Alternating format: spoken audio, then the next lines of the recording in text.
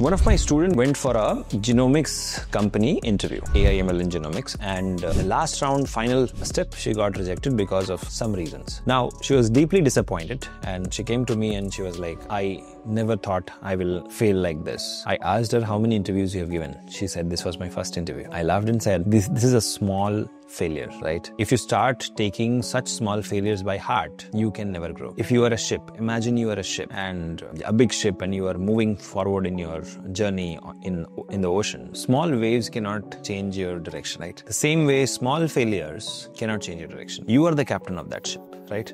So you decide where the ship will go. A failure in a small interview or a few initial interviews does not. Yes, if it is happening multiple times for 10 or 20 interviews, then there is something wrong we need to fix, right? Now, most of the biotech professionals think that, okay, I have uh, done this course or this degree, so I am eligible to get a job. That's not how it works. Industry will use every possible question to filter out the best among the rest. Having said that, to make that happen, sometimes they can criticize you, sometimes they can um, ask you very insulting questions. But you have to stay calm, you have to make sure that you don't panic, and at the same time, you are focused on the interview. You have to live in that moment right? If you just make the right choice during your interview, it can change your reality forever, right?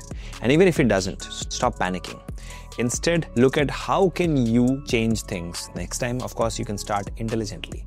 But at the same time, think about it. If this small interview decides my destiny, then who is the driver of my destiny? This small interview? No. You are the driver of your destiny. So stop regretting that you failed in an interview. Instead, move forward. Upskill, reskill, cross skill, become a better version of yourself. And to do that, of course, Biotecnika is always there for you. So remember, you are the CEO of your life, you are the captain of your ship, and these small hiccups, failures, or criticism, or insults cannot decide your destiny. You decide your destiny. All the best.